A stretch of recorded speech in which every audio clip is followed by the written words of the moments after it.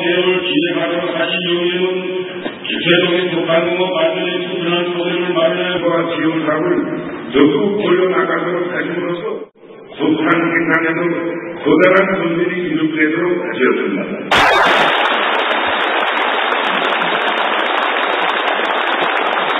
단계 배수 공작 건설 공사를 성과적으로 끝내요. 20여만 톤의 성탄을 빼로 장정시키는 정신을 지켰습니다.